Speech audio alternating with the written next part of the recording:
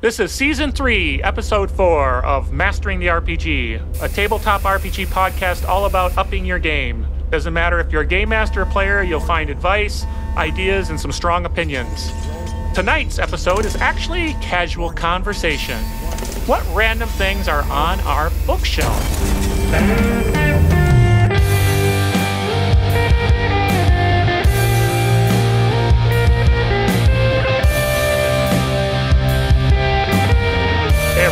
This is Carl again with Mastering the RPG, a tabletop RPG podcast, just like I said. Um, and we're all about advice, ideas, cool stuff bound, and all sorts of good stuff. You can find us at masteringtherpg.com or Game Master, or you can email at gamemaster at masteringtherpg.com. Again, that's gamemaster at masteringtherpg.com. I'm Carl with my co-hosts Eric and James. So we're I'm happy to be here. This is going to be a fun conversation. So let's let's see what's been going on. James, I know you are in the thick of things already now with your with your games that have started. So how's that going? Yeah, very much, very much. So I, I'm running seven games this week, seven days a week, which is kind of a bit exciting. Um, and we're winding up campaigns. So I've got my um, my four school age campaigns that are all coming to the end in the next six weeks. So it's about preparing for that large like boss battle fight at the end, making sure I'm tying up all the loose threads for people's uh, backstories and subplots, um, allowing for some time for reflection for the player's journey before I smash them with probably a double session uh, boss fight, which I'm looking very much forward to, which is really, really great. Um, after a little hiatus, I'm back into my Call of Cthulhu Masks of Nyarlathotep campaign on Sunday, which uh, we're into year three on that baby, so uh, that's certainly doing very, very well. About to tie up the Egyptian chapter of Masters of Nyarlathotep. And on Friday night, I get to play a new RPG, which I've never run before or never played before. I'm playing in Die, the uh, RPG for Die, which is based on a series of comics and graphic novels, which I'm really excited to do. So a massive week of uh, role-playing games. Um, can't wait for any of it. Uh, OMG is all I can say. So I mean, we we literally uh, we're doing our one campaign right now uh, with Eric and the team, and we just now had their first. They had a they had a couple of uh, sessions, and this is really the first heavy heavy combat session that they had against something against some undead. Um, they had killed some cats before, or some wild cats, or uh, before, but this was the first time they've really encountered anything um, that could cause some major damage. But uh, they didn't get major damage at all. They were able to get by without without anything. So, campaign starting, spinning up. Um, really, they've gotten a couple advances. This is Savage Worlds, and so we'll just keep keep moving forward on that one. Eric, you got anything going on? Well, and, and we're finally we're finally playing with Savage Pathfinder too, which is something that Oh. we've gone over a lot. Um, Yeah, good point. But then me and you, like together, like I've played it a little bit before, and we've talked about it a lot. But me and you have never actually played a full campaign, so now we're actually getting into it, and we have the APG involved, which is the Advanced Player's Guide. Um, you know, a lot of different classes going around, so it's, it's it's definitely interesting to get into that because it's such a different take on Savage Worlds and the way that like with the class art, the class um, class edges. uh, the class edges, yeah, Yeah. which are kind of like archetypes. But yeah, so it's been interesting for sure. Yeah, it's it's uh it's a unique um, play. I mean, all of our Savage Worlds we've done so far has been core book, um, you know, and with Plus, some though, I mean, plus or- some ad- yeah, additional stuff here and there. But this is really the first we're really diving into Savage Pathfinder as an entity because it's you know Yeah. it's, it's it's something in and of itself, you know, complete. Um, which I'm I'm kind of enjoying. I haven't done fantasy in a long time, so I'm kind of enjoying trying to come up with some some interesting stuff in the fantasy genre um, in this world that I'm creating. So yeah, very cool. Nothing like James though. Oh my God, um, I I don't, I don't know how you would. I don't know how I could handle it, that much work. So um, so yeah, Just uh, don't just don't think about it and play what's in front of you. Is what I do. It's like don't- I'm not even thinking about tomorrow's session. I'm thinking about Wild Beyond the Witchlight in four and a half hours. That's it. That's singular focus. How much do you ever do you ever have? You must have a lot, a lot of dreams, or at this point, like you just don't have any more dreams of like you being in a fantasy world. Yeah, that, like no, no, no. I, all, all my dreams are horrible terrors now. They're terror-filled oh, nightmares of, a, of a mishmash of all of them jumbled together, of which I'm Yeah. normally naked. So you know, I try not to dream if I can. Like it's either that or you just you eating a sandwich or something. Yeah, that's right. Yeah, that's it. Doing a quiet crossword and uh, yeah, that, having a cup of tea is my drink. Yeah. yeah, it, it's been pretty slow for me, Carl. Besides your game, the other games that I've been involved in are pretty slow. Um, I've actually been playing Cyberpunk, the new expansion, recently, and it really, really got me motivated because I, when I played Cyberpunk Red, or I think that's what it's called, the new like act, you know tabletop RPG Cyberpunk, I well, you know, I love the world, and there's some of the systems I liked. I, I really just hated it. You know, I think I've talked about it before. I, I mean, I've talked about it with you guys before. I don't know if I've talked about it on the podcast before, but um, it's one of the worst rulebook like designs. Like the, the formatting is the the worst rulebook I've ever seen, and there's a lot of systems that annoy me. And so I'm definitely getting inspired now to do a Savage Worlds take on it, kind of how I did my Savage Fallout book. Um, because I do really enjoy doing conversions. So I've been, I've been now that's what I'm getting into the weeds of with myself. The thing is, something that I want to pursue um, because I got a lot of good feedback from my Savage Fallout. So I definitely have some ideas, and, and obviously the hardest thing I think maybe I'll bounce ideas off of Carl too is is the hacking systems, and that's something that we've always felt that nobody's ever really gotten right as far as hacking. Yeah. Um, it's either like too involved or not involved enough. Um, the cool thing about Cyberpunk the game is there's something called quick hacking, which uh, you know to bring over to Savage Worlds would, would just more obviously be like a, a, take on the powers, power systems. Um, and then the kind of more in-depth hacking of like actually getting to networks. That's the part that all the cyberpunk things we've ever seen, which we've you know we played um, Interface Zero, which is a Savage World setting, and then we've also reviewed um, like there was a Shadowrun Savage Worlds, and we've seen some other cyberpunk stuff. And for us, the hacking was just always kind of a miss. You know, it's yeah, called Sprawl, Sprawl Runner for those again, who are looking. It's either. Yeah, it's either like I feel like it's always either too much because nobody, you know, uh, not even just Savage Worlds, all of since this is casual conversations, I'm just going to talk about this for a second. Uh, all of the, you know, I feel like you know, Cyberpunk, whether it is or well, I'm, I'm, sure James, you've played some of these games too, where there's like hacking. It's like like like Shadowrun, right? Shadowrun. Like it, to me, a failure is a failure is if you have to then spend okay, switch over to some other person and always be spending like ten minutes with them and there's like other thing like to me that just never really works and flows right and it's just always interruptive and not good game flow. So i'm just against the whole thing of like hacking being like it's such an in-depth system that takes so long. Um, but i also don't like just being a, like a single roll all the time. So i think there's a good middle ground there. Uh, Sounds like a yeah, good. Anyways, that's that's that's the only thing I've been going yeah, over. sounds like a good opportunity for a modified dramatic task um, of some shape exactly. or form. Exactly, yeah. and that's that's what I've been toying with. Something that we've talked about before too. Yeah. So cool. Well, that's good. I mean, you know, it's nothing like having the creative flow, juices flowing, and and you know, even if it's just in your mind, mind's eye that you're coming up with something. It's it's kind of fun to do that. Just you know, think and create. It's it's awesome. Good to hear. Um, so this is casual conversation, and so we were talking about what we wanted to do for season three, and one of the things came out is like you know, we're always advice, advice, advice. Let's just kind of rap about something in the topic of let's turn around and look at our bookshelf. And if anyone's watched Tabletop Tango YouTube channel, you know that my bookshelf is right behind me, the, and it's got all my stuff on it. Um, so it was like, hey, it would be cool to see. Let's talk the physical world. What kind of cool stuff do you have on your shelf physically, and then what's in your virtual bookshelf? Because a lot of people have have PDFs now, and what's you know for me, it's like kind of the old stuff, highlights, new stuff, miscellaneous, weird stuff um, that I happen to have, and uh, um, you know, go through some of that. So that's what we want to do. I don't know who wants to who wants to kick it off. I'm more than happy to do so if if you want. I'm I'm looking at your virtual bookshelf. When, when I say virtual bookshelf, I'm, I'm looking at you virtually, um, and I can see your bookshelf. So why don't you start us off, Carl? You've got an immense library behind you. Uh, and I'm sure there's some crazy throwbacks to yesteryear that you might have dug out of that. What's the weirdest thing you could find from a, a quick look behind you?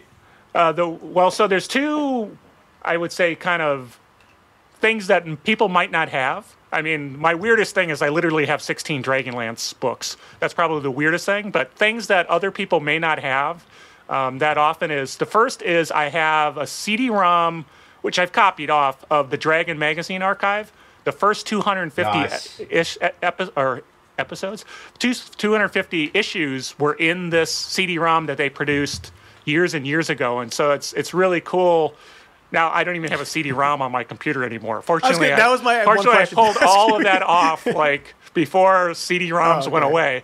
Um, so I have all the PDFs on my computer, but I still keep the the box on my on my shelf, and so it's like nice to reminisce sometimes and just look back at and say, you know, there was so much good material in that old those old Dragon magazines. It's just fun to go back and look, and, and it's got all the art for for every magazine, Yeah. and some of the art was just absolutely fantastic, and it was just very exciting to look at. So it's on my bookshelf, but it's more kind of that mix between virtual and real.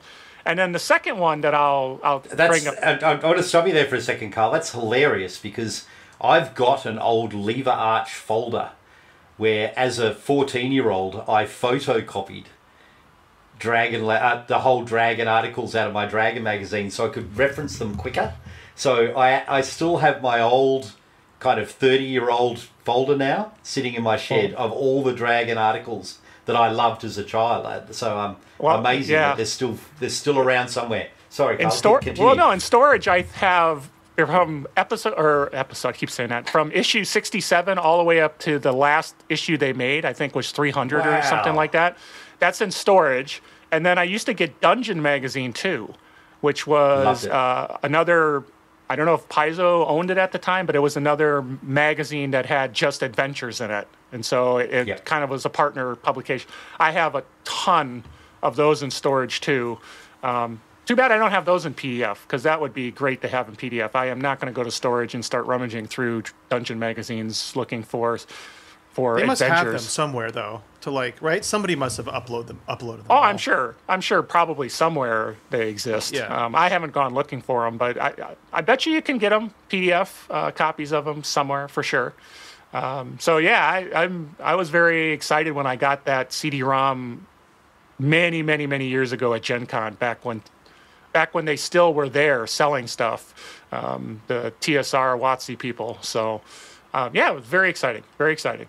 Um, and then I'll, I'll before I turn it over, I'll I've got lots of stuff to talk about, but I'll also talk about I have the silver anniversary D and D box set that TSR put out for the silver Ooh, anniversary of the game. And this I has remember reprints. Yeah. This has reprints of a lot of different modules. It's got a reprint of the original cover um, uh, uh, box set, first edition, or first edition, um, the first box set, the BX stuff. And it's got B2 in it, the Keep on the Borderlands. It's got a history. It's got Ravenloft in it, the, uh, the um, Giant series. It's got um, White Plume Mountain in it. It's, it's so it had a whole bunch of Classics. reprints of a lot of stuff. There's so I don't know how many people have that on their shelf, but um, and that's the 25th anniversary. What are we up to now as far as anniversary goes? I mean, it's like I lose track. It's like what is it? 40 years now? 45 years of the game? Yeah, almost 50. Yep. Yeah, almost 50. So It's crazy. so that's where I'll start. The two crowd, the two ones that really like stick out in my mind. But I got others. But I I, I don't want to I don't want to uh, take over the just missing on my bookshelf. So I don't know. James, what about what what did you have that first hit you when you were looking at your shelf, saying this is the coolest thing that I have to I have to tell people? Well, I would say, cool- well, I'll, I'll talk about coolest things in a little bit. Uh, Obscure things, I've, I've got a few things that I, I kind of keep in my collection. And it's a little bit different because I'm Australian, right? So uh, every now and then, a role playing game will put together, will put out a, a supplement or a, a little bit that is an Australian source book.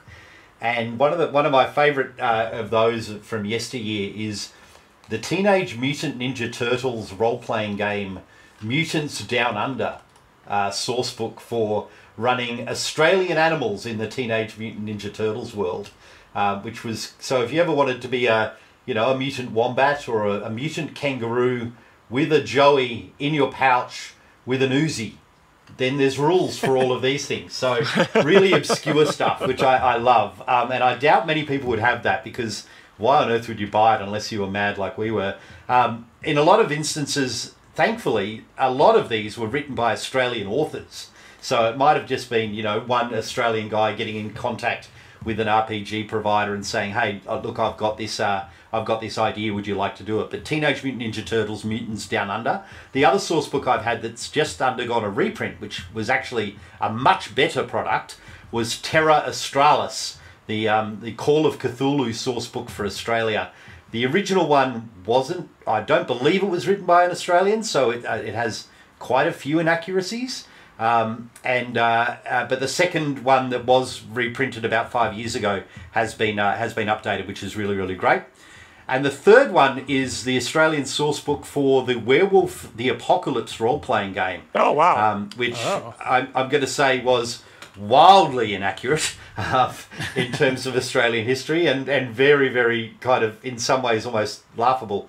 Um, but yes, where, where they created a, a, a new werewolf tribe uh, only for Australian, uh, based on the Tasmanian tiger, which is an extinct marsupial that went extinct in the 30s, um, and a whole kind of societal structure around uh, around werewolves in Australia. So I've got some obscure Australian stuff, and I'm constantly on the lookout for uh, more and more source books that that tends to get Australian culture and Australian geography terribly wrong. So, so to call it, so awesome to call it Cthulhu stuff the Call of Cthulhu stuff, they really didn't have to do much as far as all the enemies that are just going to kill you, because that's Australia, yeah, right? Yeah, I mean, right. that's everything's going to kill you, yeah, so they just have right. to stat up normal stuff. Just so. put a bunch of animals together, yeah, just shove them together, and they're horrible monsters. Yeah, the uh, that's right. The, the the monster book is is large, but it only has two fictitious um, uh, entries in it. That's right.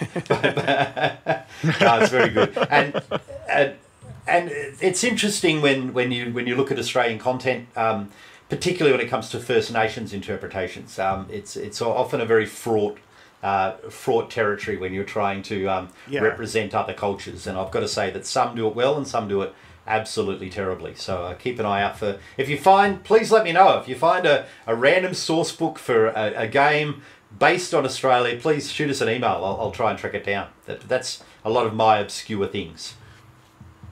Very, that's cool.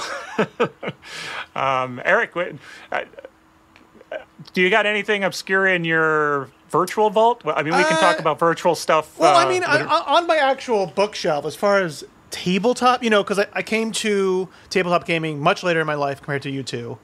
Um, and at that point, you know, uh, PDFs were were still was just around, so it wasn't. You know, I have like D and D and Pathfinder books. I would say the only sort of obscure thing on my actual bookshelf um, was this game that I loved that was very much under the radar. It was made by a Spanish company called Faith. It's called Faith. Yeah. And it's actually like a very almost like hard sci-fi game.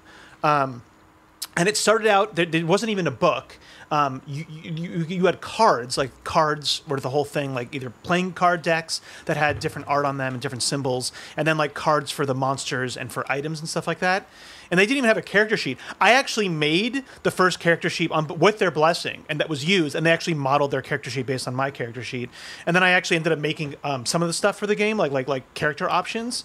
Um, but I have their core book and I have like a lot of the old cards from them. It was just really really cool game, and I would love to play it more, but there's not really any VTT assets actualized. But it's like it, it's funny because it's called Faith because they while it's kind of hard sci-fi. There is like space magic based on these enigmatic gods that are there's basically these like kind of five archetypal gods that are kind of like you know those are like the main entities that like all the different like people from across the galaxy use as their, their their gods that they base on them and they give like powers and then there's also stuff like cybernetics and things like that so it's a really really interesting settings where humans are like basically the um, they're like they're like the bottom of the rung. You know, if you want to play as human, you're like the bottom of the rung as one of the main races. So a really really cool setting that um, I don't I've never met anybody else who's ever heard of it even. Um, so yeah. Is it in Spanish? No, it's not. It's, it's okay. in American. It's in English. It's in American. Of, he says. Sorry, sorry, sorry. Well, I, well, well American yeah, yeah. English is different than other uh, English. That's for sure. You know, it is true. You bet it is. I mean, I think I think there was some. I think it was mostly popular here, but um, yeah, uh, just a really cool. Um, they even made then they made like a board game based on like the, the like sport, like which is like a gravball sport. Um, the art is like, it's one of the best art I've ever seen, hands down. Drop dead gorgeous. Um, if I know if we were posting some stuff, Carl, maybe I'll send you some of the art because it truly is some of the best art I've ever seen. Um, so just that's like totally random, totally ins- very inspired game that like I said, it's completely under the radar, but like very high production values. Um, that's yeah. that's pretty cool. That's pretty cool. I I have I have this is one that's obscure that I, I don't know. I, there's probably 50 people in the whole world who has this, have this, because the way it was made. Um, so, are you guys familiar at all with Starfleet Battles?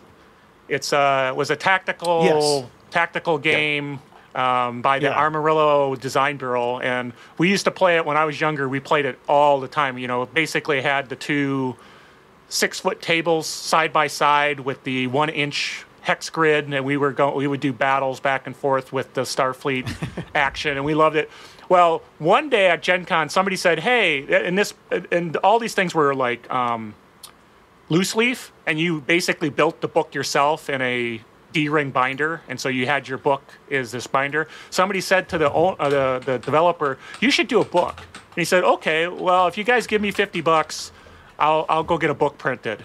And uh, like I think about fifty people gave him fifty bucks at Gen Con. He went and he got a book, and so I have an actual hardbound of this rule book of the rules, which normally were just loose leaf paper. So I literally that's one that's a that I don't think anyone else and very few people in the world. Now it's not a great printing because you know um, back in those days we weren't doing everything with uh, layout software, so you know there's a lot of photocopying going on. I'm assuming, um, but I, that's something I have that uh, I don't think a lot of people have uh, on the shelf.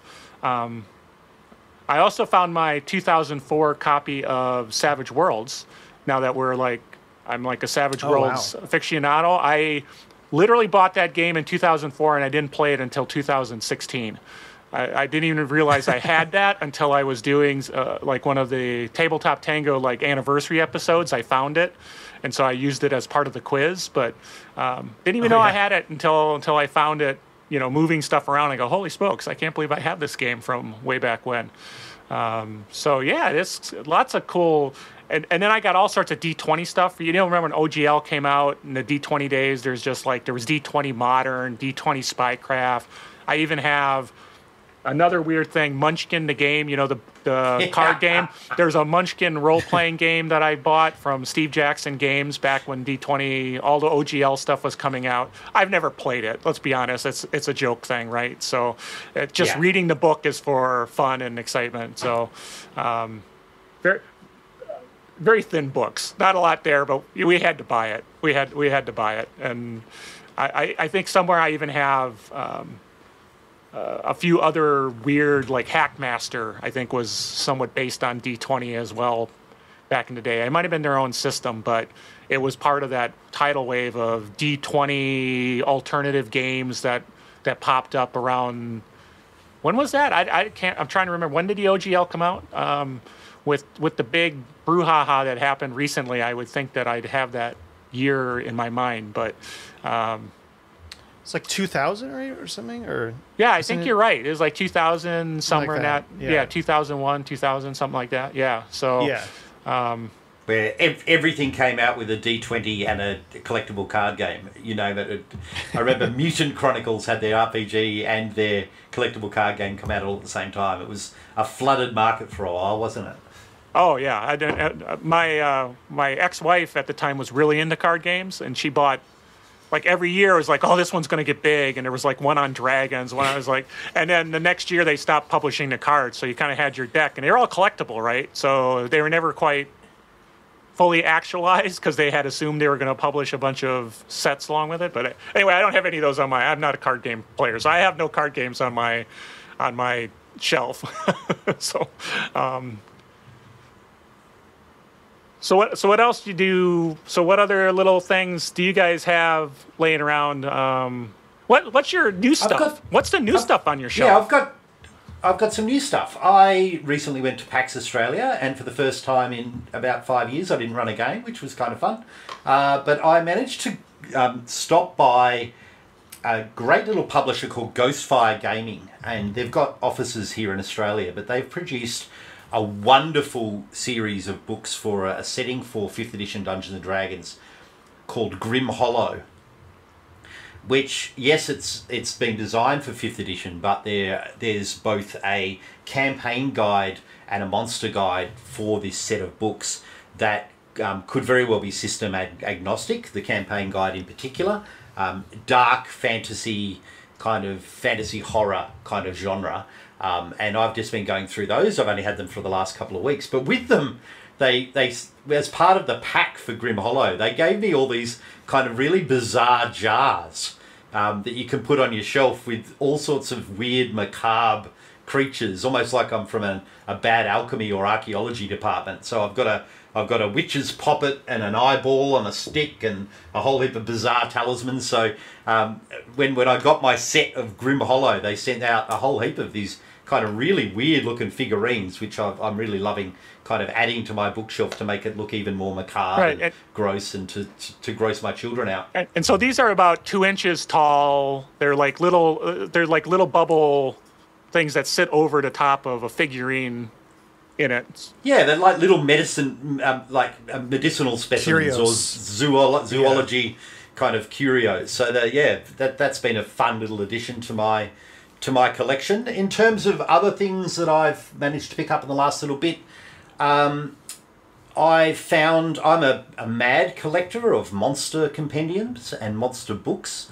And in terms of digital stuff, I've, I've found a couple of fantastic Patreons that I've just started um, supporting recently. And a, a guy runs a Patreon called Cornflux Creatures that has done some amazing monster stat box against for again for fifth edition Dungeons and Dragons, um, and he releases a monthly kind of guide of new monsters. And what I'm loving about his work is they're really compli- not complicated as in difficult, but multi-layered monster stat blocks. So there's extra stuff in them apart from just you know my monster hits you with a sword. There's there's lots of bonus actions and extra actions and kind of cool stuff that you can kind of do with these quite well designed, intricate um, monster design. So I'm really digging him.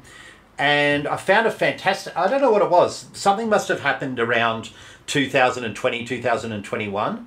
I- I'm not sure whether people were stuck in their homes for a period of time, but they seem to have produced a whole raft of amazing material since then. The amount of stuff I've got that's got copyright 2020 is quite extraordinary. Um, and I found a fantastic book called The Book of Beautiful Horrors, which is kind of horrific, fey-like, weird. You just want to gross out your players. Again, another book for fifth edition uh, Dungeons and Dragons, and a company called Quill and Cauldron have done a series of uh, they call them Ulraunt's Guide to the Planes, which is kind of an extra planar series of books. And the one I'm delving right into at the moment, and I just received a copy, is the is their guide to the Shadowfell, which is like a dark, macabre world. Um, unlike the other two, which are very much fifth edition, here's your stat blocks. This one's got some really great material that you could use for any kind of upside down world, mirror realm, dark, shadowy kind of other plane. Um, some huge, it's 400 odd pages of just pure imagination, and I'm really digging that at the moment. So they're, they're the three top. When, when I had to pick some things off my virtual shelf, these were three that just came straight at me, and it was like, these are cool, weird, horrific, macabre, unusual kind of settings and monsters for any role playing game, really. They've, they've, but they've all been amazing. That's that's cool. I, I'm fascinated by the dark, um, otherworldly. You'll you'll have to send me a note on the full name, and we'll I'll I'll take a look at that. All the people listening, I don't care about. I, I'm just I want the name myself so I can get it.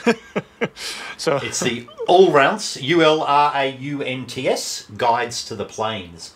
And they've done one for a lot of the Hells and, and, and they've, they've done one for the Shadowfell. So, yeah, really good books. Check them out. very cool, very cool. Um, now, See, I, I have a question. I have a question for you guys. This is like Sure. a hypothetical. Um, so, like, wh- whatever you know, you have to escape your guys' house, and you can only fit like three of books into a backpack, and you're gonna go to like a you know everything's being destroyed. This is what you're gonna have for the, the rest for the rest of your life. Civilization is falling, right? What are the three books that you grab and put in your backpack? I'll start with Carl. What do you, what, what would you grab? your civilization. You're saying civilization is is Civilization's collapsing. All the books. There's gonna be no computers. You can have three books. That's it. Straight up. Three books before you go into the shelter and have to live out your days. Uh, what are the books that you're grabbing?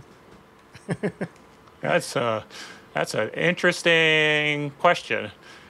Does does it ha- does it have to Switch be on the spot. Does it? Well, I mean, I'm just the question because if you say, well, it's got to include rule books, right? Then it's then it's probably like It like can be whatever you want. It's th- yeah, three three game books. I mean, you know, prob- probably. Well, uh, I'll go first then. oh yeah, you got it. um, okay. I, I, I grabbed the second edition Dungeons and Dragons Player's Handbook.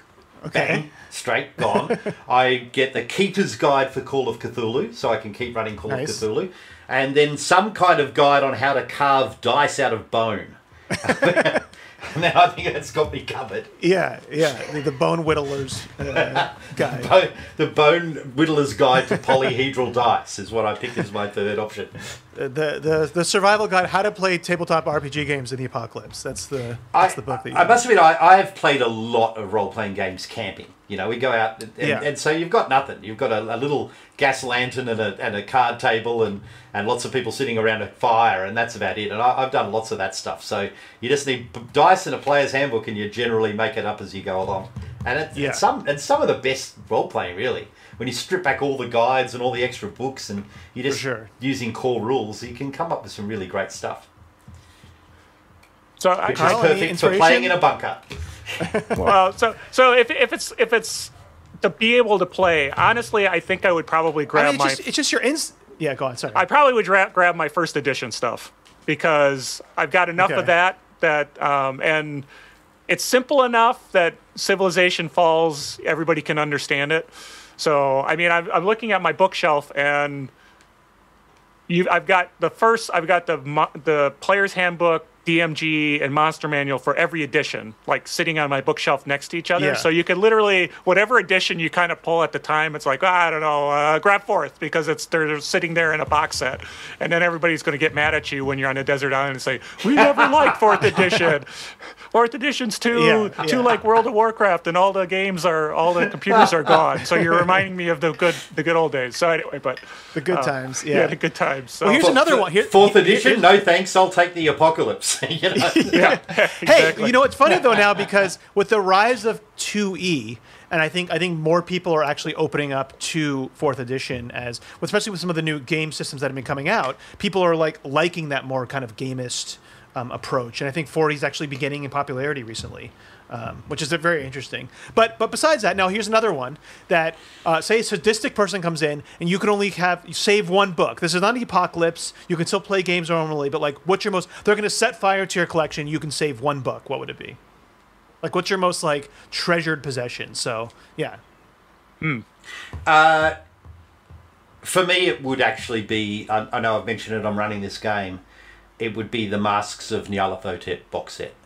Um, Okay. It's a massive, over a thousand pages of module, but importantly, it's got a beautiful set of handouts in it. Like it's actually quite Nice, gorgeous. So it, it's in terms of both the functional game, beautifully written, but a gorgeous piece of art.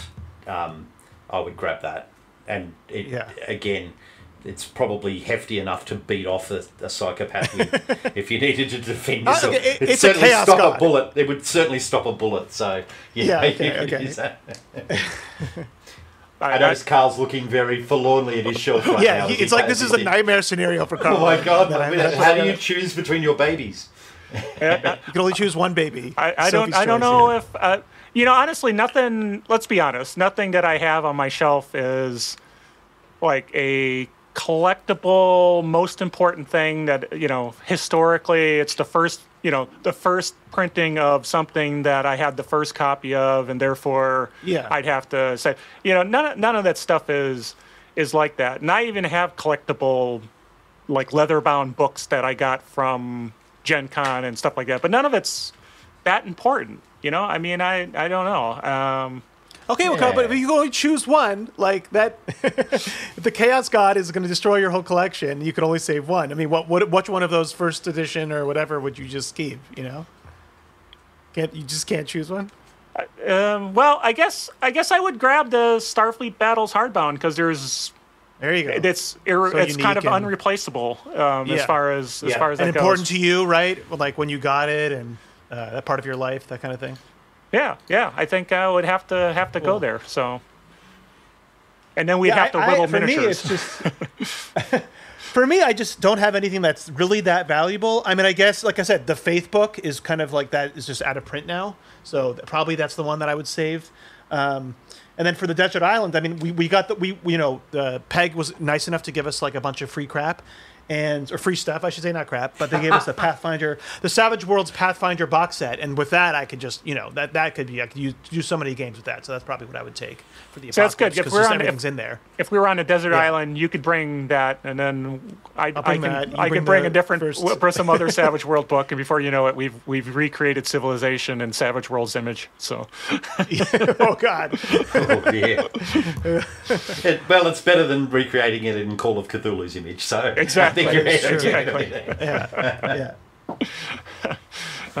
are already dealing with the wastelands. We don't need to have big scary monsters in it. Eldritch So, horrors. yeah, Yeah. yeah. See, now, if exactly. if this was about board games, I'd have a much harder uh, choices to make because I have like what a hundred, and I've been you know I've constantly gotten rid of games, but yeah, I have like a hundred board games or something in a humongous cabinet in my living room. So that'd be a much harder pill. well, for you me must to have swallow. one that's that's um, a limited edition from a Kickstarter or something, and there's only have- so many I of have them. a lot made. of those. I, I mean, yeah, I mean, I have one of the early editions of it was the Settlers of Catan, so the the Starfarers of Catan, and I think they've reprinted it now. But I have one of the first ones, which was this really cool. Um, I don't know if you've ever played Starfarers of Catan, but um, they made this like sci-fi version where you had this. Basically, you have this like uh, the one that I is like a retro '50s rocket ship that acts as the dice and also acts as like an um, you you can when you when you upgrade your ships, you like put little plastic pieces on it, and you also like shake it, and there's little colored cubes inside of it. It's just like really cool but like novel thing. And I have one of the first editions of that. That um, I, I don't think you can find those anymore. That's Um, very Even the reprinted ones aren't the same. So yeah, and that's that's a great game. It's my it's actually my favorite version of Catan. Um, which I don't play. I also have a very early version of, of Samurai, which was a, I think I think it's Reiner Knizia, um, which is this really really cool. Basically, yeah, is it Reiner? Yeah, it's Reiner Knizia, uh, which is this really cool kind of. Um, it's it's basically an abstract, uh, abstract strategy game, but like. Uh, it's it's it's it's this beautiful board of Japan, and you have these really cool little like minis with it. Um, you know, th- these Euro style games that are just very like tactile.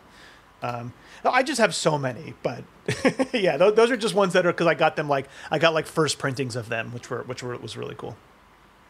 That that is, I guess that's the most interesting stuff is the things that are early. Like I, when I was looking at my Yeah, my shelf, it's like boy, it's kind of boy. Like I got one of all the early TSR products except for Boot Hill, and it's like wow, that just.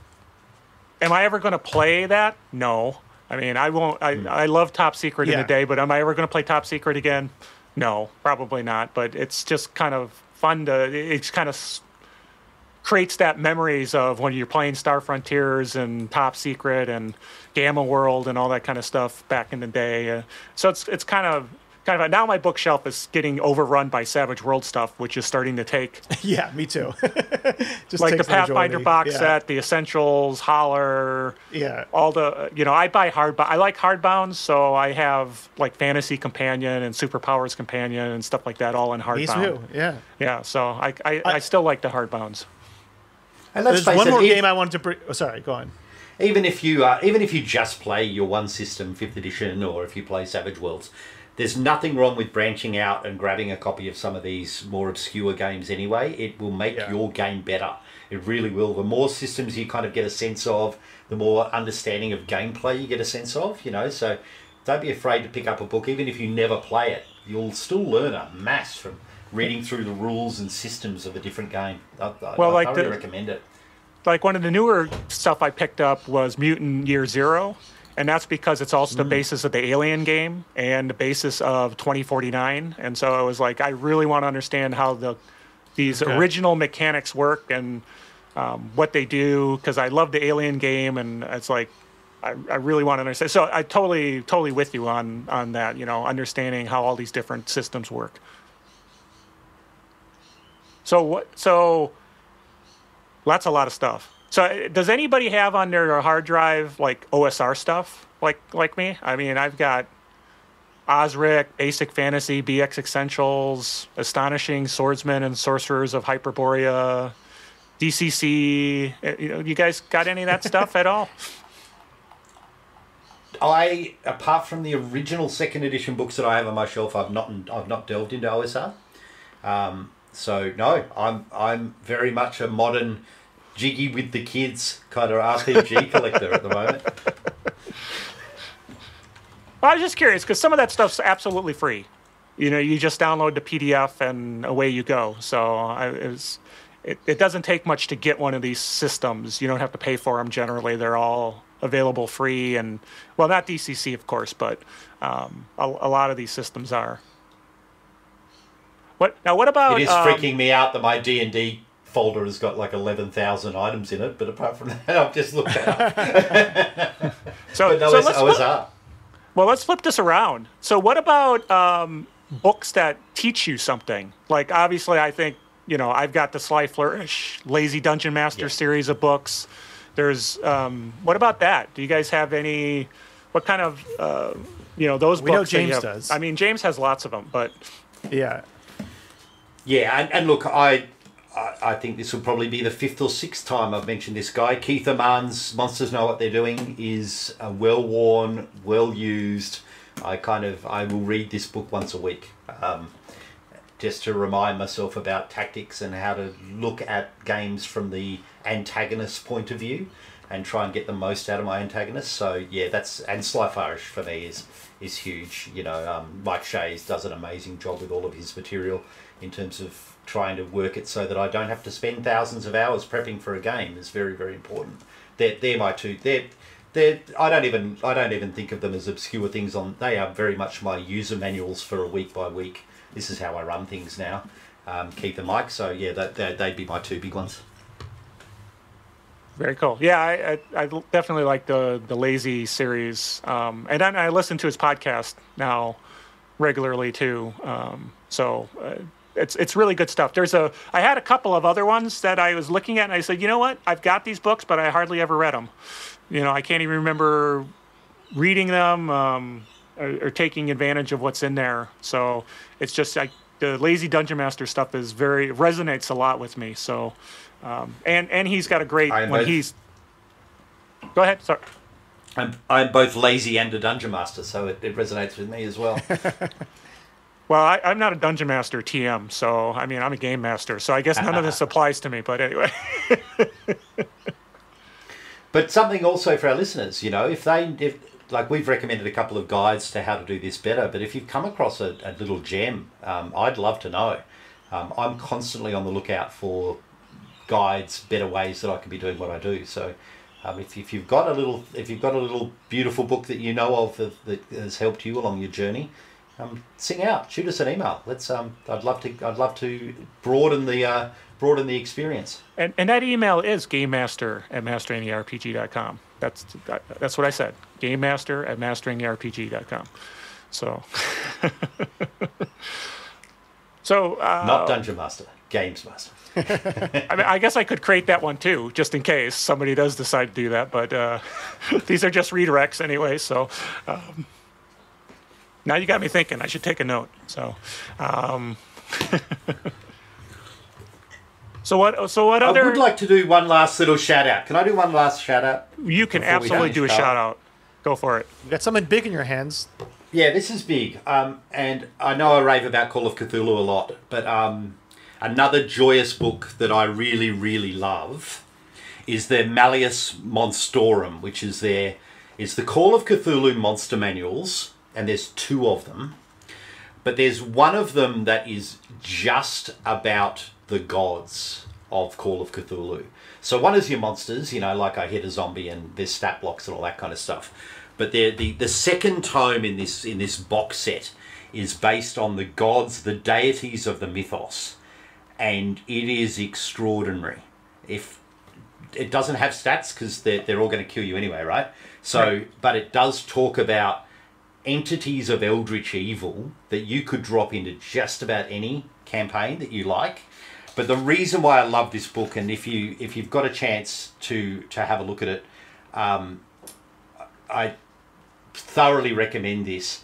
There's a guy called Loic Muzy, and he's he's a Polish guy, and his artwork is in this. And if you've ever tried to capture abhorrent, unnameable horrors in art form, uh, Loic does it so well. Um, it is probably the be- most beautiful, horrible, terrifying book that I've ever witnessed. So um, uh, have a look at it, check it out. The Malleus Monstrorum um, by Chaosium probably the the scariest looking monster manual you will ever ever likely to see. The So art looks really amazing. it is sick stuff. So yeah, yeah, enjoy, enjoy the nightmares. Well, very cool. Very cool. Um, so, so we're just hanging out. Any other things you guys want to throw out there? It doesn't have to be bookshelf or anything like that. That we're just hanging out. We got a couple more minutes, or we can. Uh, I, mean, my, I would say for me, like my a bigger collection of books for me is um, I have a lot of a lot like I have a lot of and, and old books and random books from different countries of like myths and fairy tales. Yeah. Um, Yeah, like I have a lot of them. I have like uh, basically a big, big like a bookshelf, like a two two shelf bookshelf that's just all of that. Um, and those are really fun to like, you know. And, and there's the the classic kind of European ones, like of course the Grimm fairy tales. But I but that I- like like I have the whole um, colored fairy book. I don't know if you know like the pink and the blue one. Which are which is like I have the full collection of that, which are like really really cool, and there's some really obscure stuff in there. And the the Wonder Clock, which was Howard Pyle, which was the, his take on them. And then I have all these like weird like like basically from all over like Norwegian and Japanese and Indonesian and Native American like and those are just so fun to and I haven't done that much but like if you ever kind of need inspiration for especially fantasy um, just kind of crack those open and be like oh I could kind of a, a lot of those little like because they're not that long you could kind of insert and like make a little like uh, side quest you know involving like that, that fairy tale. So those are just really fun to kind of go into and get inspiration and or like weird monsters, right? Like there's just there's still it's such a rich tapestry. And James, like you, you even said at the front, like how Australian mythology, um, both both like uh, the um, the the uh, I don't know what's what's the term for your Ab- first people Aboriginal's first, fine. Aboriginal, Indigenous like first people. Yep. First Peoples, um, and also just like you know, there's the First Peoples. There's also um, Australian myth, right? Just how we have it too. We have like Native American First People myth, and we also have our own kind of myth, which I, I actually have a book of that too, with like you know what's his name, who rides on a, like a leopard and has like a snake whip, right? Um, uh, but I feel like uh, there's so much of that stuff from the world that's just so underutilized and undertapped, right? Like, I mean, th- that would be that would be cool to kind of use a lot of Australian stuff and to kind of in, uh, put that into for American audiences because it's just we I know we, we've talked about this before. So yeah, that's something that I'm proud of is that large collection of um, mythology because I you know I said I, I think I've talked about it before is I wanted to do storytelling and I apprenticed with a storyteller, so I started collecting. Um, uh, all that kind of stuff. And, that, for and me, that's always my big collection of things. Yeah, it's fun to have. Yeah, And you and said I- you had I've got, nothing- I've got go- large tomes of. Uh, one of my most beloved books is I've got a, a 1920 anthology of archaeological digs around the world. Oh, nice. And a, it's set in this particular set in time, but um, you know the amount of times I've just quickly wanted to grab a tomb from somewhere. And it'll be from some obscure place in South America or some obscure place in the Middle East, and always great. So yeah, using those first um, source kind of historical materials too, as well as the the the, um, the myths and legends for sure. My, my my shelves are full of them. They're great. And that's something that like I think uh, any bookstore you go to, um, you know, maybe not a new one, but ones that have like used books, like go to their international, their their mythology section, and you'll find like super weird random books um, from like all around the world, like just the most random stuff that just has really kind of inspirational things for our games. So, um, yeah. And here you Cool said you didn't have cool stuff on your bookshelf. So there you Well, go. but you know, g- game related stuff. I just don't have that many. Uh, uh, yeah. Yeah, I mean, the other thing, I like, I have a large tarot collection, but that doesn't really. I mean, I just like it. Yeah. I have some. I have some weird tarot decks. Yeah, My my, my, my favorite one is the original printing of the James Bond tarot deck that they came out with for. I think it's You kidding? it's right here. Oh yeah, it's right here. Let me let me show you. Um, I have a lot of them, and, there, and there's a lot of weird ones. But this one was like this one they actually printed out when. Um, uh, I don't know if you guys can. There we go. For for those listening at home, because this is a podcast, Eric's now holding up in front of our Discord channel the James Bond 007 tarot card deck, and it looks weird.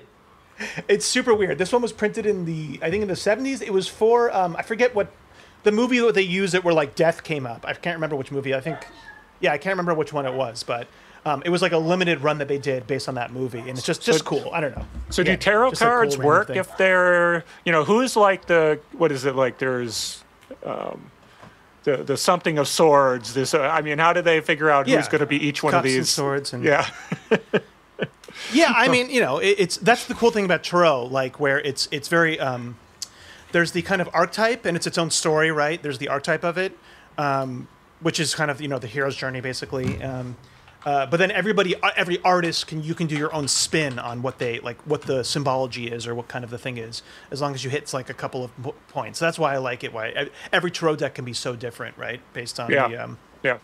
uh, take. Yeah. Very cool. And now Very I've cool. just googled the Teenage Mutant Ninja Turtles tarot deck, and there is Right? one, and I'll There be is one. ordering it. Yeah, see, I, that's the fun thing too. Is there, there's often a tarot deck for the most random stuff. Uh, that makes me want to order it too. Yeah, I want the Teenage Mutant Ninja Turtles tarot deck. Yeah. Okay. I, now I'm going to start. I'll have to Google uh, like different topics and see what the, what the decks deck. There probably is one. Um, so yeah, at least there's a dragon one. I'm sure there's one that's got dragons all over it for sure. there's so, many yeah, dragon Danny, ones, yeah. Carl. Let me let me let me tell you. There's many dragon ones. so okay. So beautiful. That's beautiful.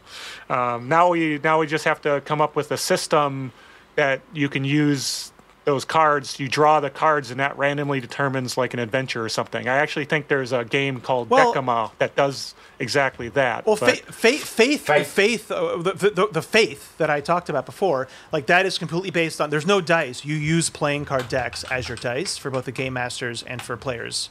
Um, so, and that's you know, with playing cards, but it's pretty much the same thing, right? Tarot, tarot was based on playing cards originally. Um, so, yeah, cool. Def- there's there probably. I think there is a game that's based on tarot. I can't remember it's, what it's called though. Um, but yeah, anyways. Very cool. All right. Well, I I think we casual comboed our way through this this one. So Yeah. hope, you know.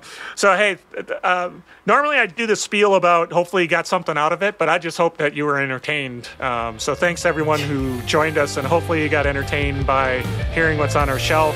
Remember, you can drop by masteringtherpg.com to learn about us and all the projects and every good stuff. Um, email game master at masteringtherpg if you got a question, um, want to give some feedback, want to give us the books that you like with respect to you know game game mastering tips, or you've got an obscure something or other that you want to share. Hey, I'm, I'm all all ears um, or all eyes reading it in an email, I guess. Um, so if you like the show, hey, please help us with a positive review um, in the podcatcher of your choice. Uh, we like doing the show; it's fun. Um, this particular topic was fun to do. Um, so once again, thanks everybody for joining us. And uh, once again, this is Carl with Eric and James. Say goodbye, guys. Goodbye, guys. Happy gaming.